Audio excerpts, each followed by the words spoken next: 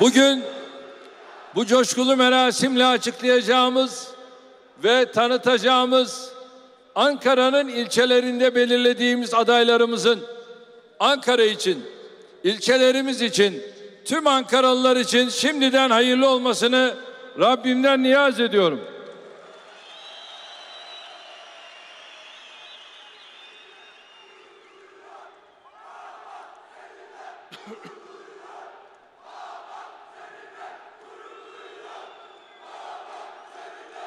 Biz de sizlerle gurur duyuyoruz. Tüm adaylarımıza 30 Mart'a kadar devam edecek büyük yolculukta ardından milletten yetki almak suretiyle başlayacak hizmet yolculuğunda Allah'tan sonsuz başarılar diliyorum. Allah yolumuzu, bahtımızı açık etsin. Rabbim inşallah utandırmasın. Evet, AK Parti olarak 12 Haziran 2011'de seçim sandıkları kapandığı andan itibaren bir sonraki seçimin startını vermiştik.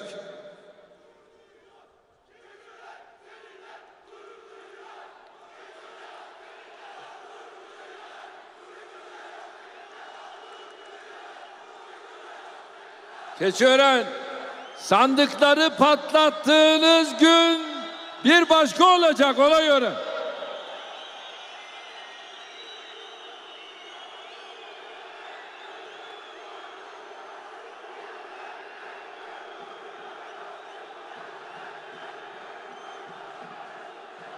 ...30 Mart seçimlerine biz teşkilat olarak iki buçuk sene öncesinden hazırlanmaya başlamıştık. 30 Mart mahalli seçim sürecine girdiğimizde hazırlıklarımız belli bir aşamaya gelmiş, çalışmalarımız belli bir seviyeye ulaşmıştı. Son aylarda çalışmalarımız hazırlıklarımıza hız verdik.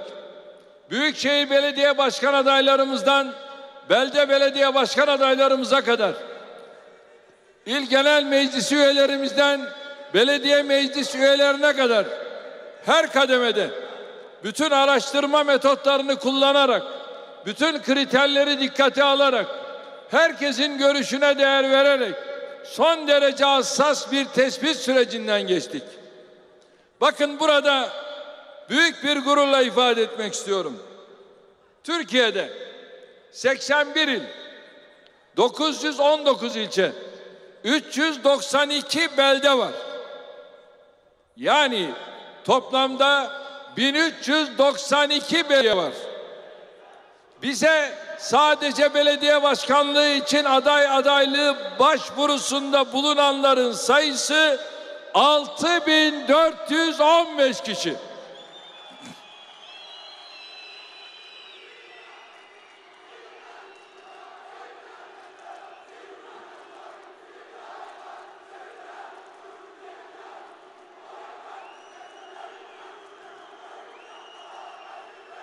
Bu ne demek biliyor musunuz? 1392 adaylık için 5 katı 6415 aday adayı başvuruda bulundu. Bize adaylık için başvuran bu 6415 arkadaşımızın hemen tamamı belediye başkanımız olacak ehliyete ve liyakate sahiptir. Takdir edersiniz ki bir eleme yapmamız gerekiyordu. İşte bu elemeyi kılı kırk yaran böyle bir hassasiyetle, bir kuyumcu hassasiyetiyle çok sayıda veriyi, çok sayıda kriteri, metodu kullanarak yaptık. Halkın nabzını tuttuk. Anketler yaptık. Bir değil, iki değil, bazı yerlerde üç anket yaptık. Performansları ölçtük. Temayül yoklamaları yaptık. Bakalım teşkilatımız ne diyor? Bunu öğrendik. İl başkanlarımızın, ilçe başkanlarımızın, kanaat önderlerimizin, kadın, gençlik kollarımızın, milletvekili, bakan, genel başkan yardımcılarımızın değerlendirmelerini aldık. Bütün verileri bir masa üzerinde toplandık, topladık. Son istişarelerimizi yaptık ve adaylarımızı belirledik. 81 ilimizin adaylarını daha önceden belirleyip kamuoyuna açıkladık ve tanıttık.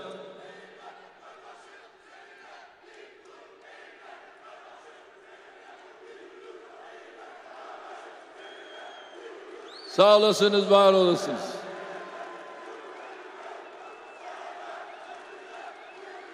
Şimdi ilk kez başkent Ankara'da ilçe belediye başkan adaylarımızı tanıtıyoruz.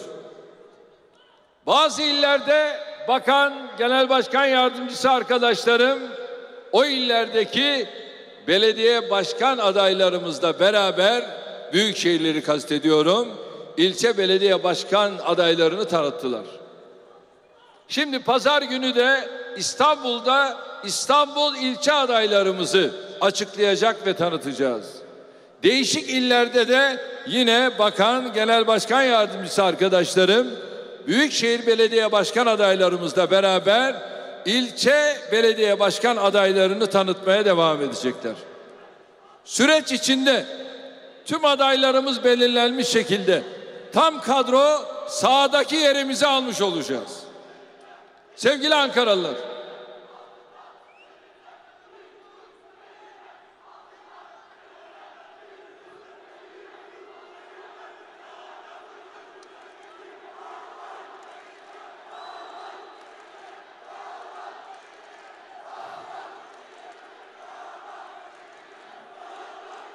Maşallah.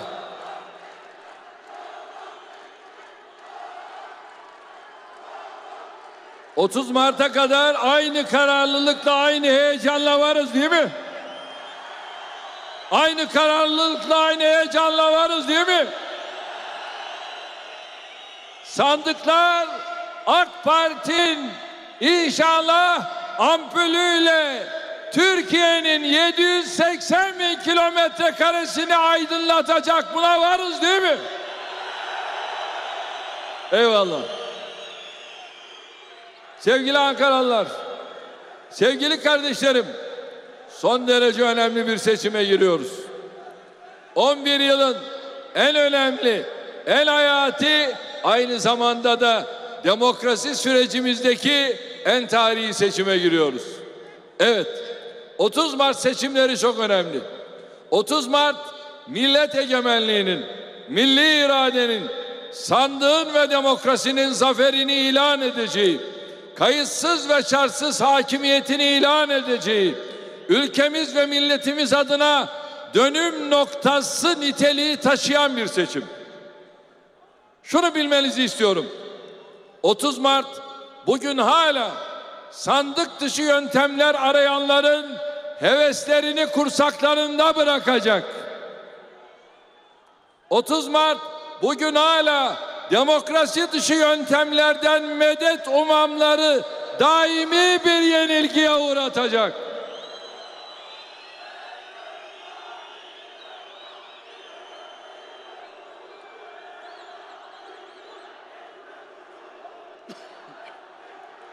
...30 Mart bugün hala milli iradeden, millet egemenliğinden başka yollar arayanların umutlarını bir daha canlanmamak üzere kıracak. Statüko 30 Mart'la birlikte tüm umutlarını yitirecek. Demokrasi düşmanları, millet düşmanları, sandık düşmanları 30 Mart'la birlikte tüm çabalarının beyhude olduğunu görecektir. Kardeşlerim 30 Mart artık kalıcı olarak Türkiye'de demokrasinin yerleştiğinin Türkiye'de iktidarları milletin belirlediğini en güçlü bir şekilde gördüğü gün olacak. Bakın sevgili kardeşlerim. Burada sizlere yakın tarihimizin son derece üzücü bir olayını tekrar hatırlatmak istiyorum. 27 Mayıs 1960'ta demokrasiye bir müdahale yapıldı. Siyasete el kondu. Başbakan ve arkadaşları Yassıada'ya gönderildi. Düzmece bir mahkemeyle yargılandı. ve maalesef başbakan ve bakanı, iki bakanı idam edildi. Şurası son derece önemli. 27 Mayıs cuntasının başbakan ve iki bakanını idam etmesi sadece o güne has bir olay değildir. Demokrasiye, sandığa, milli iradeye kastedenlerin aslında çok farklı bir niyetleri vardı.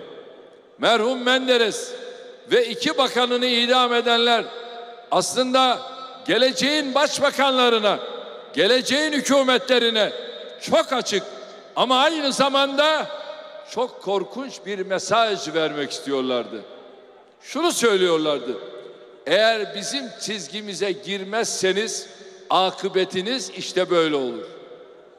Bizim irademize rağm olmazsanız, milletin iradesini dikkate alırsanız işte sonunuz böyle olur mesajını veriyorlardı.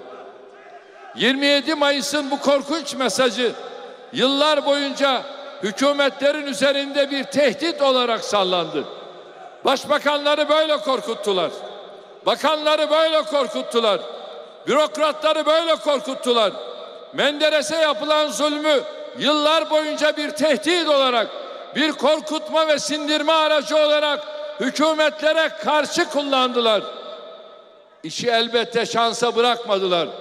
Kurdukları yeni kurumlarla, siyasetin üzerine tesis ettikleri vesayetlerle, hükümetlerle ve hükümetleri siyaseti, yasama ve yürütmeyi her zaman kontrol altında tutmak istediler. Biz 3 Kasım seçimlerine girerken işte en başta bu tehdide, bu korkutmaya, bu sindirmeye itiraz ettik. Daha yolun başında ne dediğimizi lütfen unutmayın. Ne dedik? Yeter. Söz de, karar da milletindir dedi.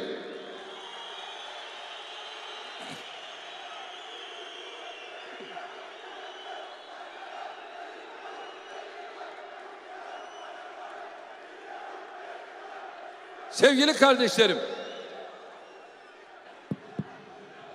bu öyle kuru kuruya bir slogan değildir. Bizim siyaset anlayışımızın en temelinde işte hep bu ilke yer aldı. Partimizi kurduğumuz andan itibaren 11 yıllık iktidarımız boyunca bu ilkeden asla taviz vermedik. Bu ilkeyi unutmadık, ötelemedik.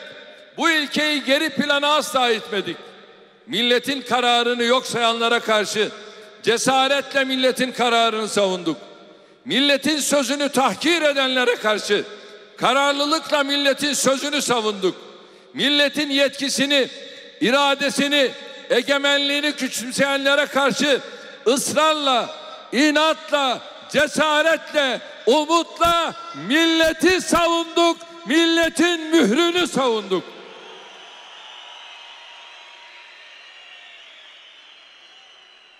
Kardeşlerim, mafyayla, cuntayla, çetelerle mücadele ederken işte biz bu ilkeden hareket ederek sonuna kadar bunun arkasında durduk. Demokrasi dışı müdahalelerle mücadele ederken işte bu ilkeyi yanımıza aldık. Darbe senaryolarına, komplolara, sabotajlara karşı bu ilke hep yol arkadaşımız oldu. Azığımız oldu. Gayemiz, maksudumuz oldu. 11 yıl boyunca her ne yaptıysak millet için yaptık. Milletle birlikte yaptık. Milli iradeyi ve demokrasiyi güçlendirmek için yaptık. Neyin karşısında durduysak, neyi desteklediysek millet için destekledik.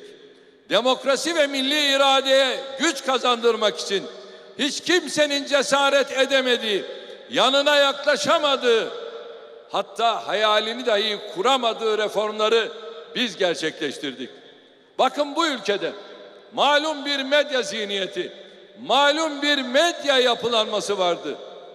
Ağız birliği yaparak, emir ve talimat alarak milletin değil, kendilerinin ve kendi sahibi olan holdinglerin çıkarlarını gözeterek hükümet kuruyor, hükümet yıkıyorlardı.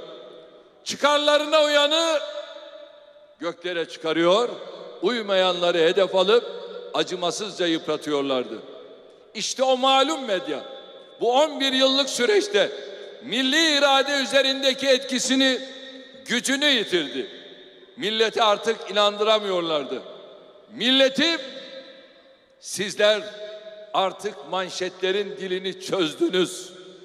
Fotoğrafların, başlıkların, haberlerin, köşe yazılarının dilini ve maksadını milletim artık çok iyi anlıyor.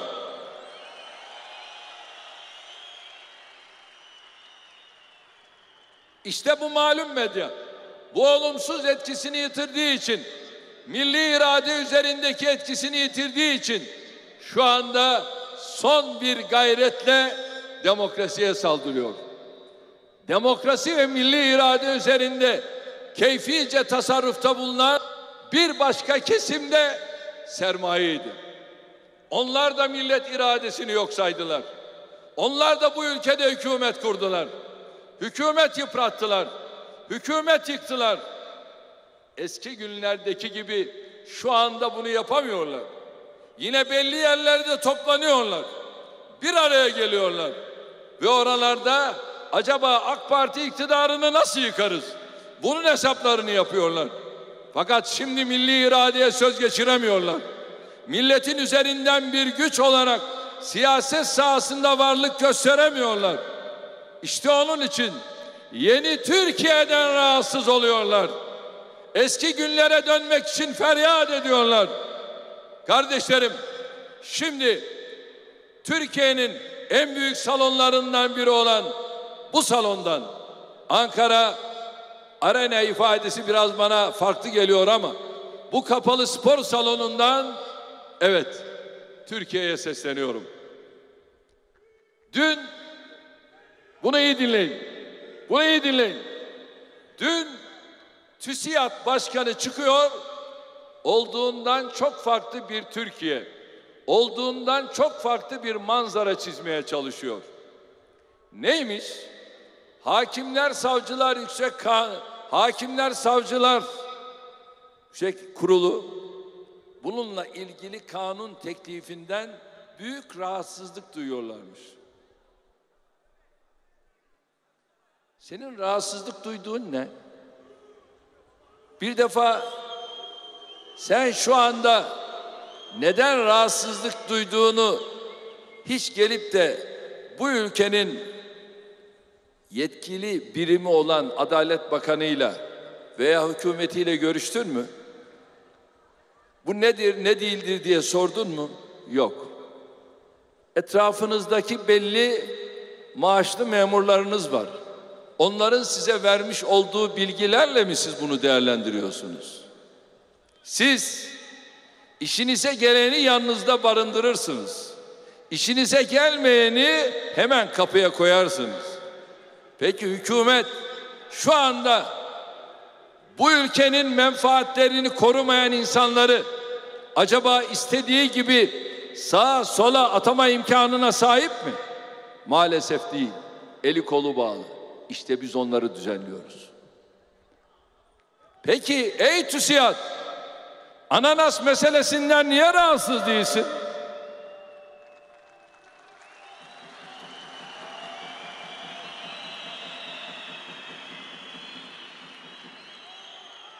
Uganda'da sizlere rafineri bağlantısı kuranlardan niye rahatsız değilsin? Yargı içindeki paralel örgütlenmenin iş üzerindeki ağır baskısından, şantajından rahatsızlıklarınız niye yok? Niye? Çünkü bazılarının işleri tıkır tıkır yürüyor. Ananaslar gelip gidiyor. Herhalde bu bildiğiniz ananas değil yani anlıyorsunuz. Bunlar farklı. Ananas bunun kod adıdır. Kod. Ve rafineri dağıtımları da yapılıyor. Yargıda bazı işler çözülüyor. Beyefendiler bundan rahatsız olmuyorlar. Rafineriyi alırken rahatsız değilsin. Ki cezalar kesilirken niye rahatsız oluyorsun? Yanlışım vardı onun için. Devlet içindeki paralel yapıdan değil, o yapıyla mücadele için attığımız adımlardan rahatsız oluyorlar. Yargının bağımsızlığını savunur gibi yapıyor ama yargıda bozulan tarafsızlığı hiç dile getirmiyorlar. Biz sadece bağımsız yargı demiyoruz. Bağımsız ve tarafsız yargı diyoruz.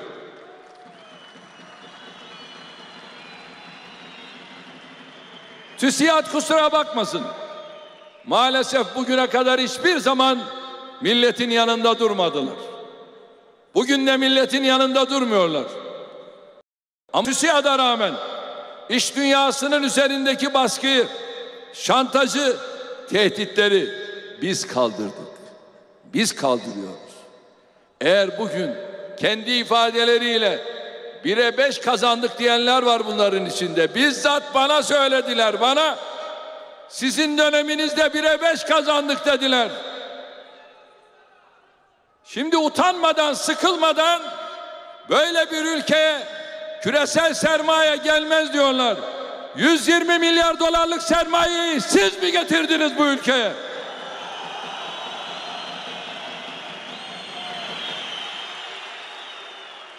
Üyeleriniz küresel sermayeler ortaklık kurarken neye dayanarak kurdular? Bu ülkedeki bu ülkedeki bu güzel atmosfere dayanarak buraya geldiler. TÜSİAD'ın üyelerinin birçoğunun küresel sermayeyle ortaklıkları var. Nasıl geldiler? Bu havayı görerek geldiler. Türkiye'yi güvenli bir liman olarak gördükleri için buraya geldiler. Ben şaşıyorum. Bu TÜSİAD bugüne kadar bu ülkede hiç samimi davranmadı.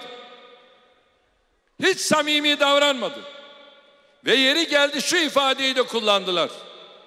Hükümet başarılı ama bizim oyumuz başka yer. Bunu da kullandılar.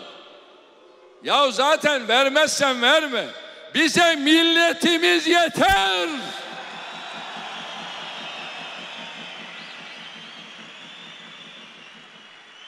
Siz yine gidin o yolsuzluklarla iç içe olanlarla oturun belli yerlerde lobi faaliyetlerini yapmaya devam edin. İşte ana muhalefetin zaten lobisini yaptığı bunlar. Bunlarla beraber çalışıyorlar. Bunu biz gayet iyi biliyoruz. Ama bugüne kadar sustuk. Bundan sonra susmayacağız. Bunları bunları artık geri geldiği zaman biz de teşhir edeceğiz. Çünkü AK Parti iktidarına karşı bu kadar açık bir şekilde tavır ortaya koyanlar bilsinler ki bundan sonra biz de onlara karşı bu tavrı koyacağız. Bunlar bu ülkede hükümete karşı yapılan bu darbe girişimine yönelik bir tavır ortaya koymadılar. Siz darbe girişimine karşı ortaya tavır koymuyorsunuz öyle mi? O zaman karşınızda bizi bulacaksınız. Samimi, dürüst, her işinizde yanınızdayız. Ama yanlışınızda asla bizi yanınızda bulmayacaksınız. Bugüne kadar bulmadığınız gibi. Bunu çok açık net söylüyorum. Ve bugüne kadar kendileriyle birçok kez bunları konuştuk. Dürüst davrandığınız sürece sizin yanınızdayız. Ama yanlışınızda bizi yanınızda bulamazsınız. Bunu kendilerine her zaman söyledim. Değerli kardeşlerim, şimdi enteresan, devlete paralel yapının ki TÜSİAD'ın içinde bu şekilde olanların birçoğunun şahsımla gelip yaptıkları görüşmelerde söyledikleri ifadeler vardır. Ve dönemimizde nasıl imkanlarını nerelere götürdüklerini kendileri bize ifade etmişlerdir. Ha yeri geldiği zaman, vakti geldiği zaman onu da açıklarız ha, onu da söyleyeyim. Onu da açıklarız. Ama ben şunu söylüyorum. Kalkıp da TÜSİAD'ın başkanı böyle bir ülkeye küresel sermaye gelmez ifadesini kullanamaz. Eğer kullanıyorsa bu bu ülkeye karşı bir ihanettir.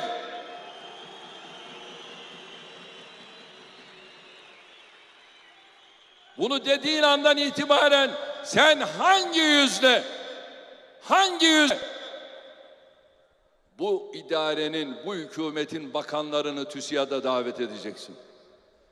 Hangi yüzle buradaki yatırımlarında sen başta başbakan olmak üzere bizimle kalkıp da herhangi bir işini görme yoluna gideceksin?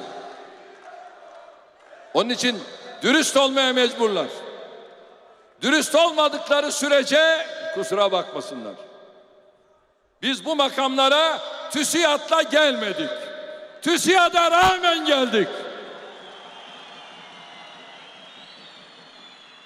TÜSİAD'a rağmen de milli iradeyi, demokrasiyi savunmaya, paralel örgütle mücadeleye devam edeceğiz. Türkiye'ye yabancı sermaye gelmez diye adeta kendi ülkelerini, kendi hükümetlerini tehdit ediyorlar. Öyle mi? O zaman cevabını alacaksın. AK Parti iktidarına kadar 79 yılda Türkiye 15 milyar dolar uluslararası yatırım çekebildi. Dikkat edin buraya. İktidarımıza kadar 15 milyar dolar. 11 yılda ise Türkiye'ye gelen uluslararası yatırım miktarı 120 milyar doların üzerinde.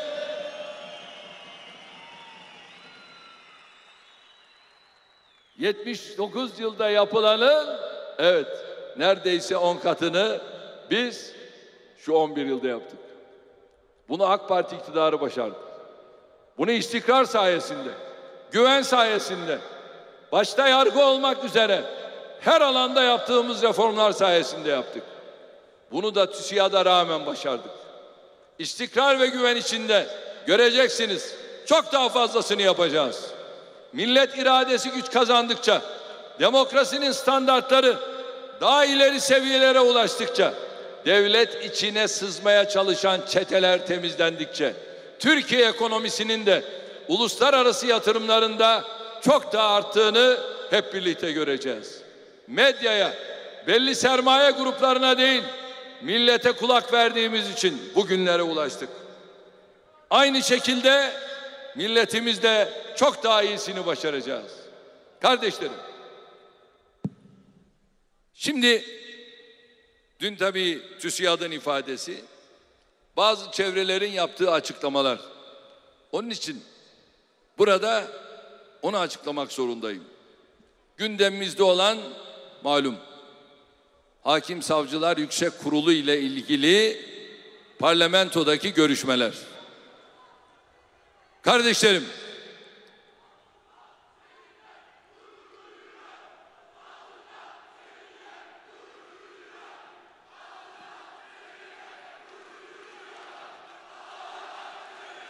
Biz de Ankara'yla gurur duyuyoruz. Ankara'yla gurur duyuyoruz. Kardeşlerim bu konu önemli. Bunu dinlemenizde fayda var.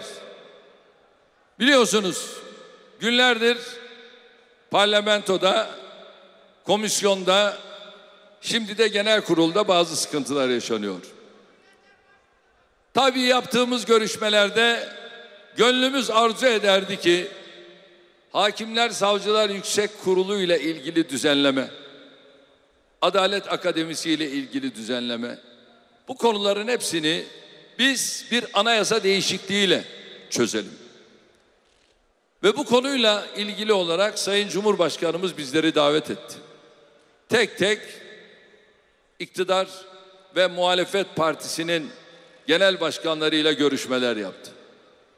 Ve bu görüşmelerde ben Sayın Cumhurbaşkanımıza birinci derecede anayasa değişikliği konusuna taraftarız. Elimizden geleni yapmaya hazırız.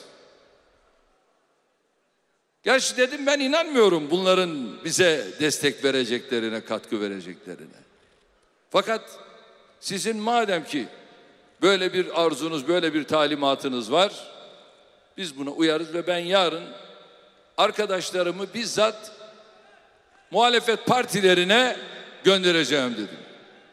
Ve ertesi gün değerli arkadaşlar Adalet Bakanımla Grup Başkan Vekilim Nurettin Canikli Bey'i gönderdim. CHP anında cevap vermedi. Dedi ki biz perşembe günü cevap verelim. Ve MHP bir çay dahi ikram etmedi. Arkadaşlarımızın girişiyle çıkışı neredeyse anında oldu. Ya randevu veriyorsun be. Bu milletin bir ananesi var, örfü var. Eskiden diyorlardı ki kahve içerler giderler ama bu sefer bunu da unuttular. Önemli değil. Arkadaşlarımız BDP'ye de gittiler. BDP önce olumlu bir refleks verdi. Tabii anayasa değişikliği için BDP'nin oyu yeterli değil. Perşembe günü Perşembe günü CHP'den cevap geldi. Biz katılmıyoruz dediler. Bunu bilmenizi istiyorum. Çünkü bu CHP'nin genel müdürü her zaman akşam başka konuşmuştur, sabah başka konuşmuştur. Dürüst değildir. Dürüst değildir. Sıkıntı burada. Tabii durum böyle olunca biz o zaman dedik ki yasal düzenlemeyi yapmaya devam edeceğiz. Ve kavga, gürültü neyse komisyondan geçti. Ve genel kurula geldi. Genel kurulda da kardeşlerim yine her türlü yaygara yapılıyor. Maalesef dün de bildiğiniz gibi arzu edilmeyen durumlar oldu. Peki niye oldu? Kardeşlerim, siz bu ülkenin başbakanına, bakanlarına, bu ülkenin bu insanların ailelerine varıncaya kadar her türlü hakareti yapacaksınız. Bu tür hakaretlere karşı oradaki AK Parti grubu kusura bakmayın biraz açık konuşacağım ama herhalde Şamaroğlan'ı değil. Onlarda bir yere kadar sabır sabır sabır ondan sonra da artık dayanmıyor. Tahammülünde bir sınırı var. Onlar da kalkıp bizim de onurumuz var, haysiyetimiz var deyip onun gereğini yapıyor. Şimdi burada bir şeyi söylemek zorundayım. Bir şeyi söylemek zorundayım. Bakınız şu ana kadar partimizle alakalı olarak bizim en güçlü yanımız nedir? Yola çıkarken söyledik. Yolsuzlukla mücadele. Yasaklarla mücadele, yoksullukla mücadele. Biz yolsuzlukla mücadelede başarılı olamasaydık ülkemizi bu değişim dönüşüme kavuşturamazdık. Hatta bugün bir tane köşe yazarı demek ki bizi hiç takip edemiyor zavallı. Diyor ki Erdoğan diyor 11 yılda 6 bin kilometre yol yaptık. Eğer bu kadar yol yapmasaydık e, yolsuzlukla mücadele noktasında iyi noktada olabilir miydik? Bak takip edemiyor. Ey köşe yazarı. 6 bin kilometre yol 79 senede bizden öncekiler yaptı. Biz 10 yıla 17 bin kilometre bölünmüş yol sığdırdık. Önce bunu öğren. Yani bizim yaptıklarımıza bunların hayalleri bile ulaşamıyor.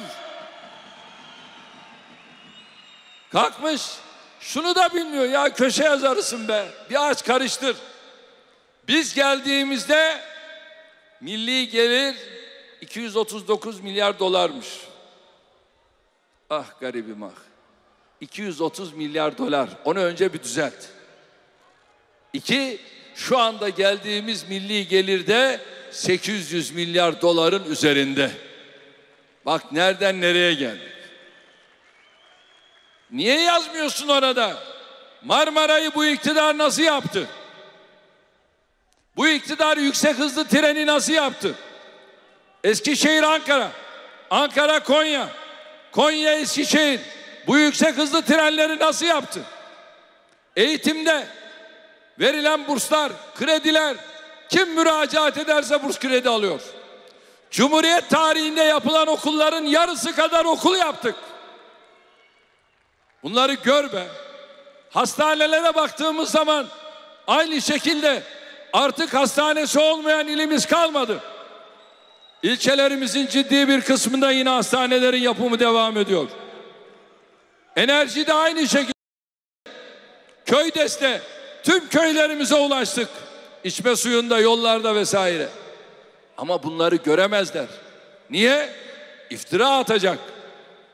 Çünkü vatandaşımızın yolsuzluk konusunda hassasiyeti var. Ama biz yolsuzlukla mücadelede başarılıyız.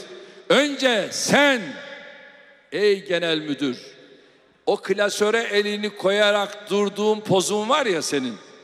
Neydi? İstanbul'a şimdi aday gösterdiğiniz şahsın yolsuzluk klasörüydü. Onu partinizden ihraç ederken o yolsuzluk klasörünün önünde sen poz veriyordun. Poz. Şimdi ben buradan sesleniyorum. Sanatlar gününe kadar müsaade. Eğer pazar gününe kadar pazar gününe kadar sen İstanbul Büyükşehir adayınla alakalı o yolsuzluk klasörünü açıklamazsan ben Cumhuriyet Halk Partisi'nin özet raporunu kendim açıklayacağım. Kendim açıklayacağım.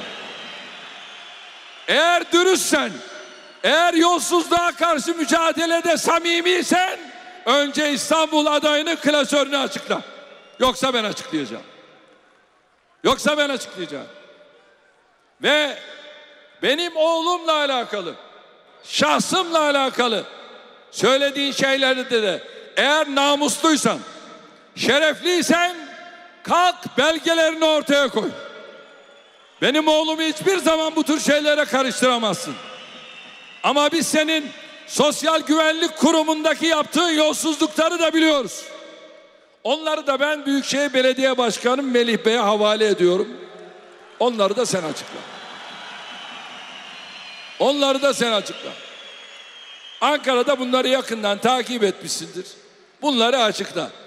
Ve Rahşan affı çıkmamış olsaydı bugün başka yerdeydin. İki, zaten sen kendi genel başkanına eğer o kaset olayını yapmamış olsaydın bugün zaten burada değildin. Bak Sayın Baykal'a bu tezgah kuranın da kim olduğu ortaya çıkıyor zaten.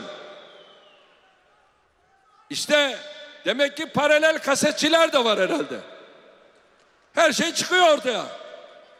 Ve buralara gelmek isteyenler işte bu oyunları da kullanmak suretiyle buralara gelebiliyorlar. Bu kadar da mahirdir. Onu da özellikle vurgulamak istiyorum.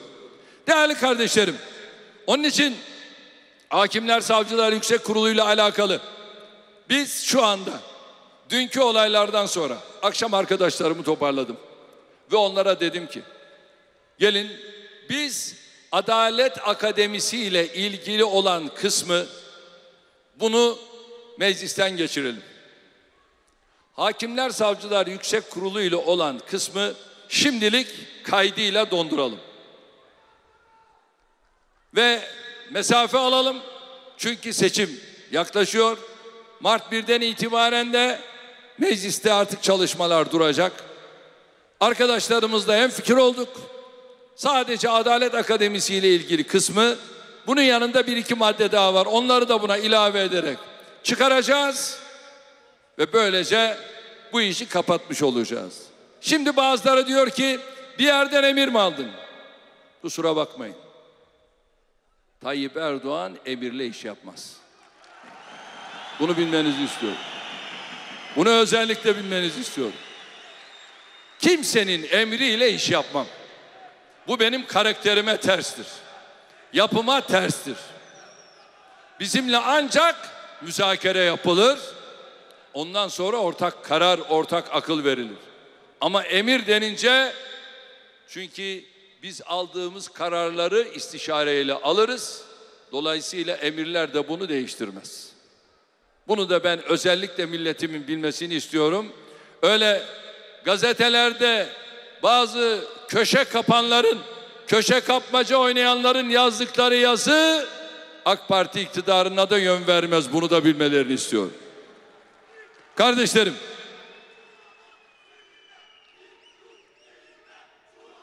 Türkiye'de demokrasi, sandık ve milli irade için ilkeli tutum benimsemeyen bir başka kesimde statüko partileri oldu.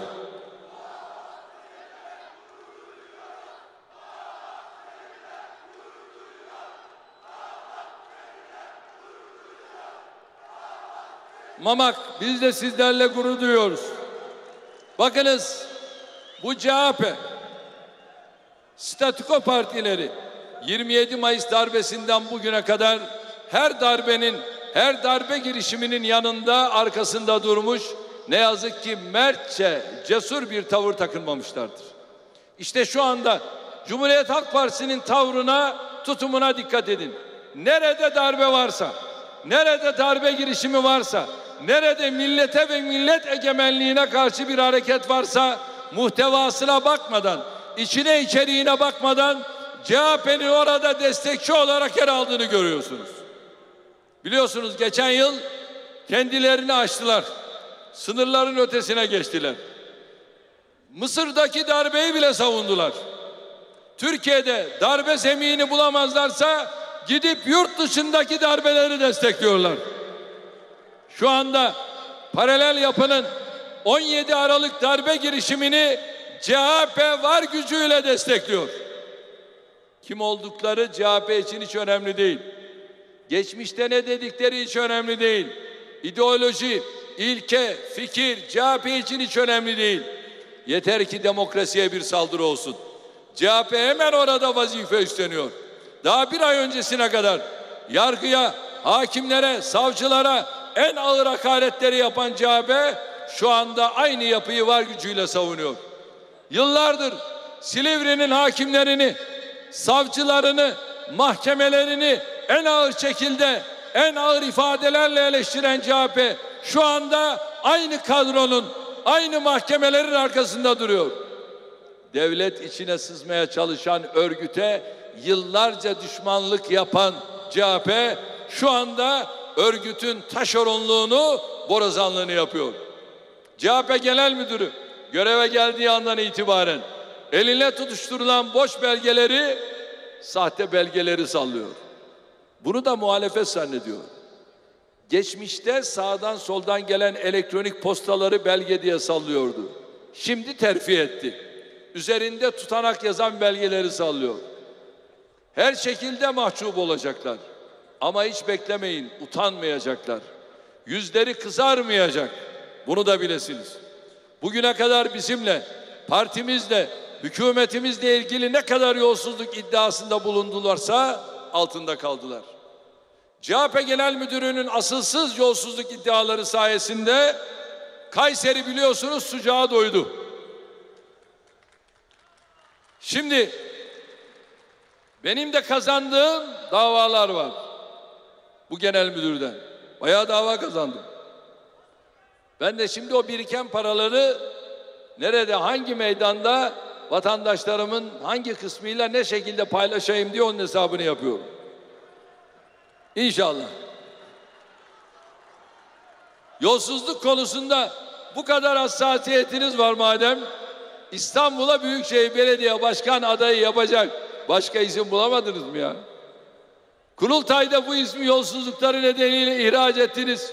Şu andaki genel müdür İstanbul adayının yolsuzluk dosyaları önünde biliyorsunuz poz verdi. Ve az önce de söylediğim gibi pazar gününe kadar izin. Pazar gününe kadar açıkladın açıkladın o dosyayı. Açıklamadın ben sizin kendi hazırladığınız CHP'nin özet dosyasını ben açıklayacağım. Ben açıklayacağım.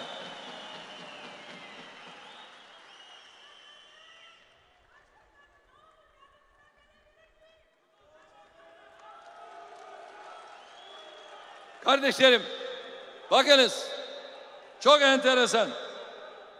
Son günlerde Suriye'deki katliamın boyutları gözler önünde. Çok çarpıcı, vicdanları sızlatan bazı fotoğraflar yayınlandı. CHP'den bu insanlık dışı manzara karşısında samimi bir söz işittiniz mi?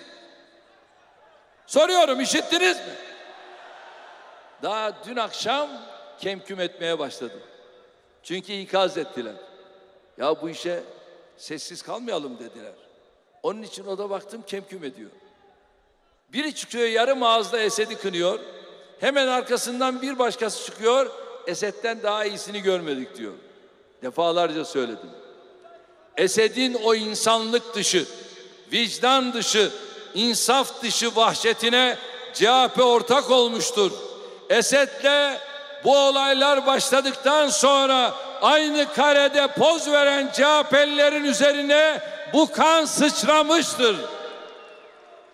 Bütün dünya fotoğraflar karşısında insanlığından utanırken CHP dostu Esed'i temize çıkarmak için yine zulmün, yine vahşetin yanında yer almıştır. Çıkıyor Dışişleri Bakanı Montreux'de utanmadan, sıkılmadan teröristlerin Türkiye'de eğitildiğini söylüyor. Eğer bunların burada eğitildiğini ispat edemezseniz ah alçaksınız. Alçaksınız. Türkiye bugüne kadar hiçbir Suriye'deki terörist gruba eğitim vermemiştir. O sizin işinizdir. O Suriye'nin işidir. Ve Suriye'de bugün terör örgütleri varsa bunların oluşmasına neden olan da Esed rejimidir.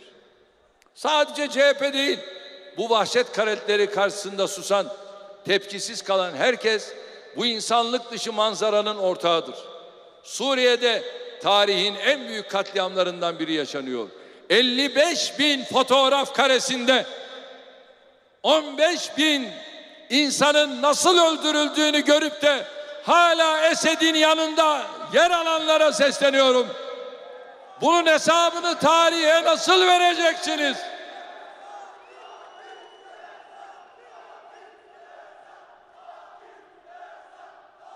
Sadece Suriye'de insanlar değil, insanlık katlediliyor. 150 bine yakın insan hayatını kaybetti. Milyonlarca Suriyeli evlerini terk etti. Dünya artık bu vahşete daha fazla sessiz kalamaz. Tepkisiz kalamaz. İnsanlığa karşı suç işleyen, savaş suçu işleyen Esed artık Suriye'nin başında daha fazla kalamaz. Suriye'de katliam yapılıyor. Dünya sessiz. Suriye'de toplu göçler yaşanıyor. Dünya sessiz. Silahlar kullanılıyor. Masum çocuklar, bebekler öldürülüyor. Dünya sessiz. İnsanlar şehirler büyüklüğünde toplama kamplarında açlıktan ölüyor. Dünya sessiz. Ama sistematik işkenceyi, insanlık dışı muameleyi, savaş suçlarını ortaya koyan bu fotoğraflardan sonra dünya daha fazla sessiz kalamaz. Cenevre toplantısının insanı insanlığından utandıran bu fotoğraflardan sonra Suriye için acil bir çözüm üretmesi en büyük arzumuzdur ve bunun için çabalarımızı sürdürüyoruz, sürdüreceğiz. Tüm imkanlarımızla, yardımlarımızla ayrım yapmadan Suriye halkının yanında yer aldık ve yer alacağız. Türkiye'nin insani yardım tırlarını durduranların da bu fotoğraflardan sonra kendilerinden utanmış olmalarını diliyorum.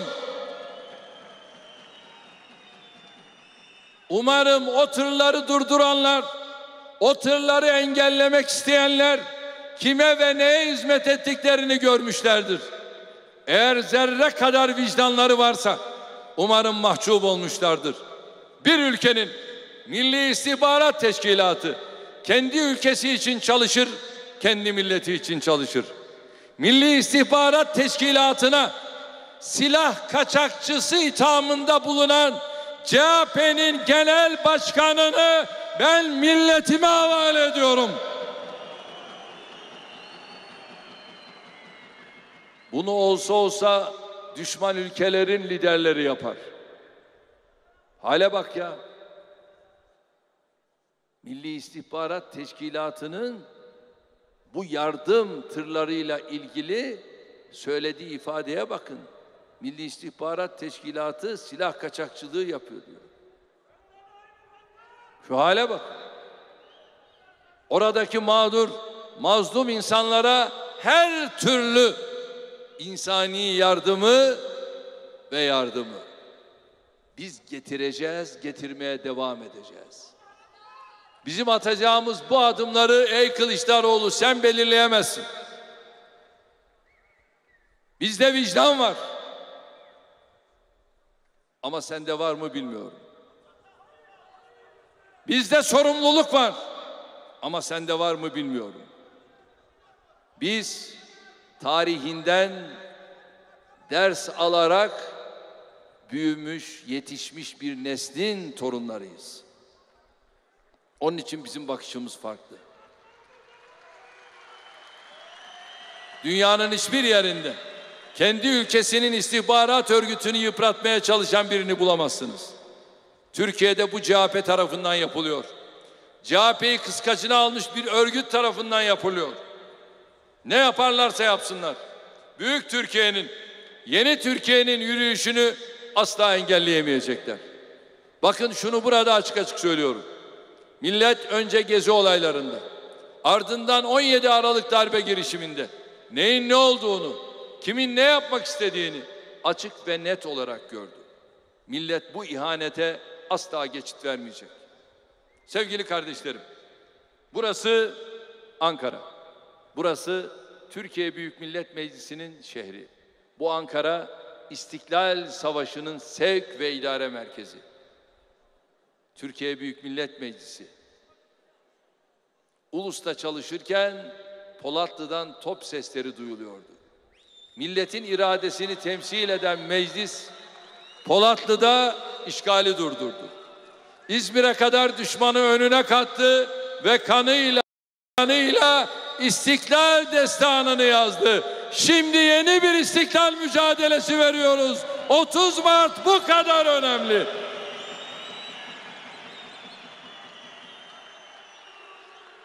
Kardeşlerim, hiçbir maşa örgüt bu ülkenin istiklalini elinden alamaz. Hiçbir örgüt devletin içinde ur gibi, virüs gibi büyüyüp Türkiye Cumhuriyeti'ne paralel bir yapı oluşturamaz. Bu millet tarihi boyunca düşmana da haine de geçit vermedi. Bundan sonra da vermez, vermeyecek. 90 yıl önce olduğu gibi bugün de Ankara'dan başlayarak dalga dalga yayılarak istiklalimize kutlu yürüyüşle kastedenlere gereken cevabı 30 Mart'ta sandıklarda vereceğiz. Hiç endişeniz olmasın. Başınız asla öne eğilmesin. Umutsuz olmayacaksınız. Yeyse hüzne kapılmayacaksınız. Yılmayacaksınız. Vazgeçmeyeceksiniz. Onlar ne yaparlarsa yapsınlar. Siz milletsiniz. Siz milletin kalbi olan An Ankara'sınız. Siz bu ülkenin asli sahiplerisiniz. Ve bunlara haddini 30 Mart'ta sandıkta siz bildireceksiniz. İşte 30 Mart bunun için çok önemli. Çok çalışacağız. Kapı kapı dolaşacağız. Hanım kardeşlerim, sizlere özellikle sesleniyorum. Kapı kapı dolaşarak sandıkları siz ayağa kaldıracaksınız. Bundan önceki seçimlerde çalıştığımızın iki katı, üç katı çalışacağız. 30 Mart'ta demokrasinin, milli iradenin, sandığın zaferini ilan edecek ve şer odaklarının tamamını inşallah mutlak bir yenilgiye hep birlikte mahkum edeceğiz. Bu süreçte şunu Ankara'ya, Ankaralı tüm kardeşlerimize özellikle anlatmanızı sizlerden rica ediyorum.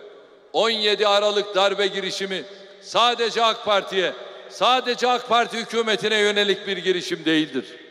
17 Aralık'tan bugüne kadar Türkiye'nin kaybettiklerine bakın. Ne demek istediğimi anlayacaksınız.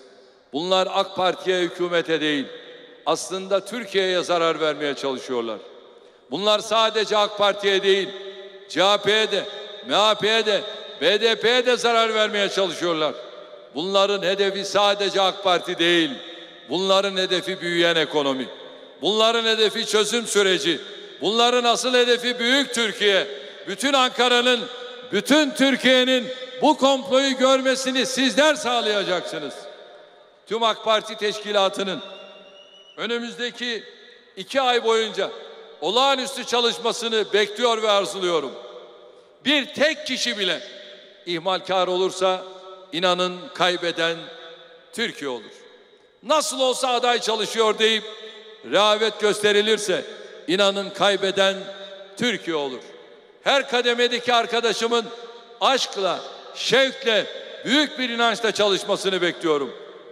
Ankara'dan sadece başarı değil, Ankara'dan unutulmaz bir demokrasi müjdesi istiyorum. Bunu başaracağınıza başkent olarak 80 vilayete örnek teşkil edeceğinize yürekten inanıyorum. Ankara bir dünya şehridir. Bir dünya başkentidir. Ankara mazlumların, mağdurların, dost ve kardeş ülkelerin barış şehridir.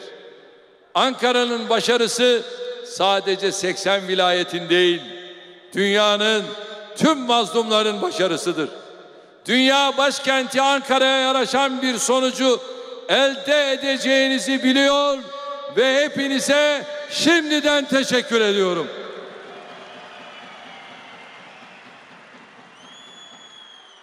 Hepinize bu gösterdiğiniz ilgi sebebiyle, alaka sebebiyle teşekkür ederken şimdi adaylarımızı tanımak üzere sözü Orhan Bey'e takdim ediyorum. Kalın sağlıcakla diyorum.